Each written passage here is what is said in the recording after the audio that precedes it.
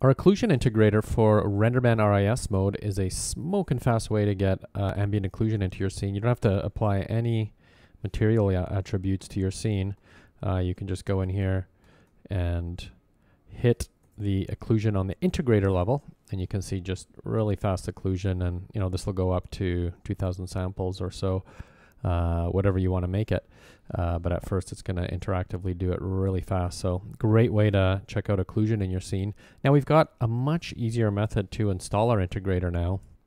Before it was a little bit more complex with a lot of uh, script hacking. So with the latest update we've just put out um, when you unzip your zip file, you'll get this lollipop shaders folder and there'll be an install.txt. There'll be a screenshot which shows you exactly where it's going to be installed. So inside your RenderMan globals, you've got the integrator in the menu.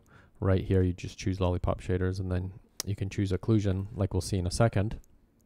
But if you look at the install text, let's just go through those steps really quickly to help you install this because it's a lot easier now. Um, so basically there's about three steps and you just restart Maya. So what you want to do is just place this lollipop shaders directory wherever you want it. So you can just put it anywhere on your hard drive, doesn't matter.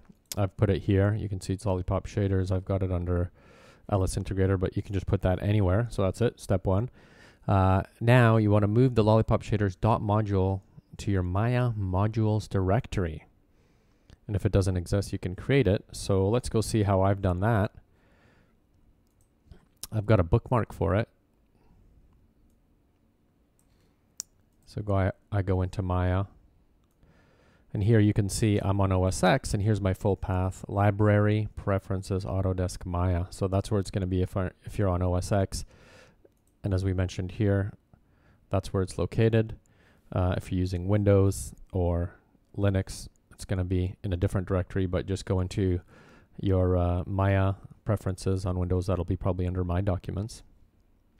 So I've got a number of different versions in Maya here, but in this one we're going to take a look at it in 2014, but the same thing goes for 2016. You can see there's a modules path.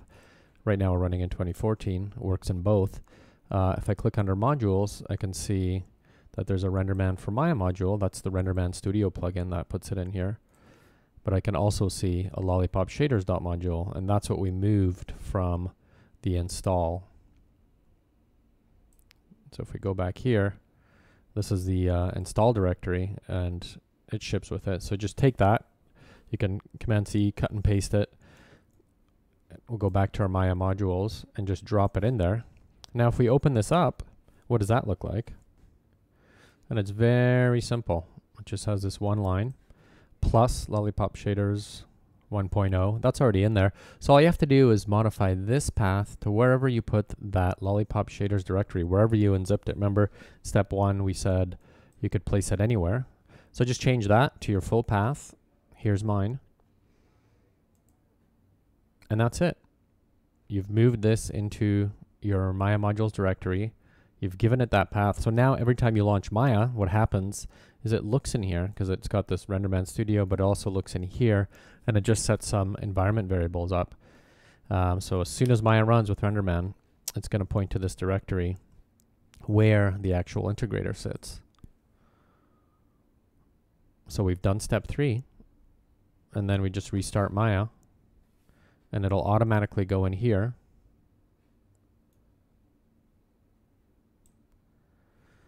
and you'll notice the scripts directory inside um, your Lollipop Shaders directory. Well, there's a bunch of stuff in here, but you don't have to touch that because we've modified it for you. And the beauty of that module install, it automatically looks in here and it checks this file and it checks this file. And we've modified those just to make sure that your integrator loads in RenderMan Studio. So now let's go into Maya. And if we stop the render, we were just rendering in the background there get some really nice, like how nice high quality while I was chatting away to you. Uh, I was rendering in the background, and that's just a really nice, really nice occlusion there. So uh, let's go into our RenderMan control. So I'm going to click this button. And when it pops up under sampling or IPR sampling, under the integrator, by default, it's the path tracer. We have our VCM, which is our bidirectional path tracer. But if you go into Lollipop Shaders, it now appears in our menu and the occlusion one is in here And on IPR sampling, I had the occlusion one in here. That's how I was rendering this. But it shows up in that menu. So that's the whole point of installing it is that it needs to load up in this menu in Maya and RenderMan Studio. And then once you switch to it and you hit render, we're going to do an IPR render or an offline render.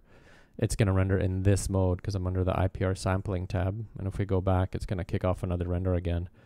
And uh, that's the beauty of um, that integrator. And you can switch back to the path tracer if you want. And that's the uh, unidirectional path tracer that ships with RenderMan. So if we switch back to that, you know, we get our we get our usual render.